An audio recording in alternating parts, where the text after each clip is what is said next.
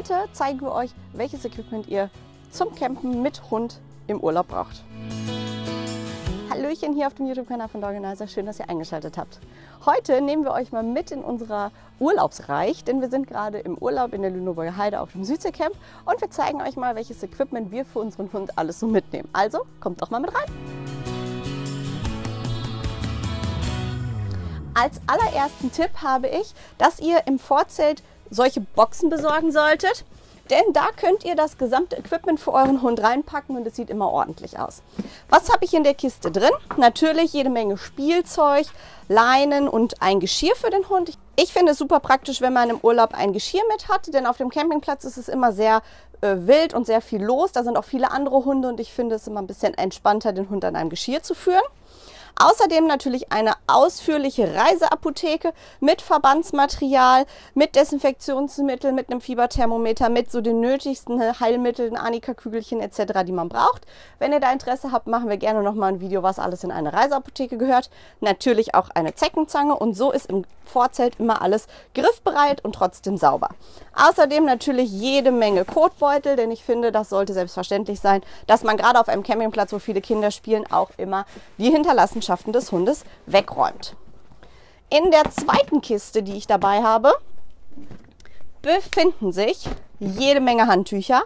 Denn leider ist das Wetter beim Campen ja nicht immer so beständig und man hat nicht immer nur Sonnenschein.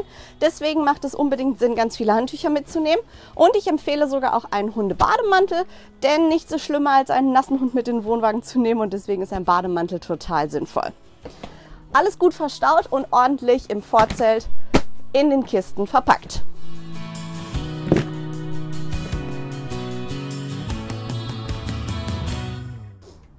Dann ist natürlich noch ganz wichtig, dass ihr genug Futter und Leckerchen dabei habt. Bei uns sieht das so aus. Wir haben hier ein Fach extra für den Hund.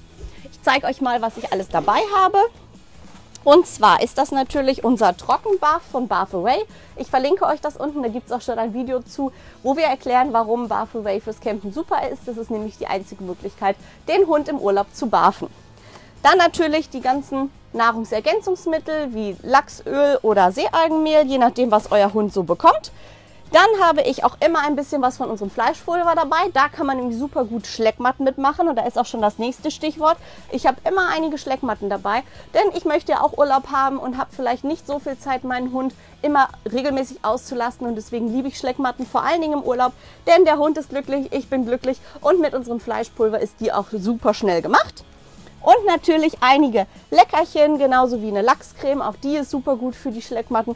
Das heißt, alles, was der Hund sozusagen braucht. Wichtig ist natürlich auch, dass ihr Näpfe dabei habt, am besten zwei oder drei, damit ihr nicht immer die Näpfe von A nach B tragen müsst. Wir haben immer einen draußen stehen, einen im Wohnwagen und einen im Vorzelt. Dann habe ich keine Sorge, je nachdem, wo der Hund gerade ist, dass er auch was zu trinken hat.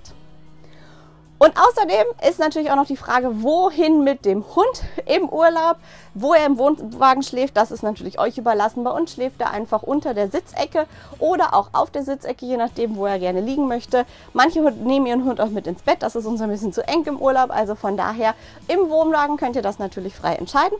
Ich habe aber noch ein paar Tipps für euch, wo der Hund im Vorzelt liegen sollte oder wie ihr das dort organisieren könnt. Das zeige ich euch jetzt. Das Allerwichtigste finde ich ist im Urlaub eine große Hundebox. Denn so ein Campingplatz ist für viele Hunde ganz schön stressig. Hier gehen ständig Leute her, hier laufen Kinder mit einem Spielzeug oder mit einem Ball her. Es kommen viele Hunde vorbei und deswegen finde ich es super wichtig, dass der Hund einen Ruhepol hat, also einen Rückzugsort und unsere Hunde sind ihre Box gewohnt. Das heißt, sie fühlen sich wahnsinnig wohl in der Box und entweder steht sie halt hier drin, wenn es regnet, so wie jetzt, oder auch natürlich draußen. Wenn wir draußen sitzen, dann binden wir den Hund entweder an ähm, einen so einen Haken an oder wir tun ihn in die Box, damit er ein bisschen entspannen kann. Bei dieser Box ist das Schöne, Leo, geh mal kurz rein. geh mal richtig rein. Leo, geh mal in deine Box. Dass man die Box auch verschließen kann, also optisch verschließen kann, so dass der Hund wirklich Ruhe hat und ein bisschen entspannen kann.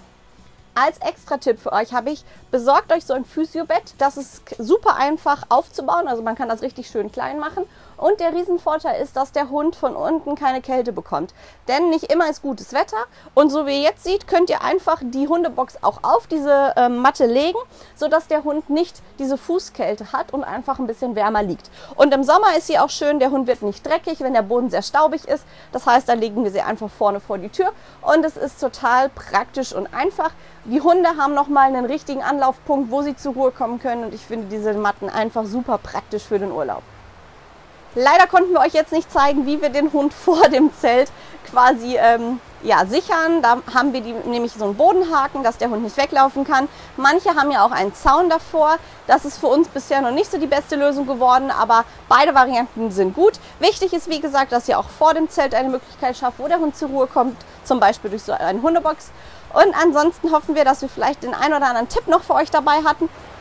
Außerdem steht auf meiner Liste immer noch eine Schwimmweste, falls wir schwimmen gehen, ein Regenmantel für einen Tag, der so ist wie heute und natürlich ein paar Beschäftigungssachen für den Hund, sein Kong, die Schleckmatten hatte ich schon erwähnt, also alles Mögliche, damit der Hund sich rundum wohlfühlt. Bitte guckt auch, wenn ihr in Urlaub fahrt, immer vorher, wo ist der nächste Tierarzt, damit ihr im Notfall schnell Bescheid wisst. Fragt immer an der Rezeption, die können euch da die Telefonnummern geben, sodass ihr gewappnet seid, wenn es mal plötzlich soweit ist, dass ihr zum Tierarzt müsst, damit ihr dann nicht erst anfangen müsst, rumzufragen. Wir hoffen natürlich, dass das bei euch nicht passiert. Wünschen euch einen wunderschönen Campingurlaub das nächste Mal und vielleicht hat euch das Video ja gefallen und dann lasst uns doch gerne einen Daumen oben da. Viel Spaß mit euren Hunden im Urlaub. Bis dahin. Tschüss.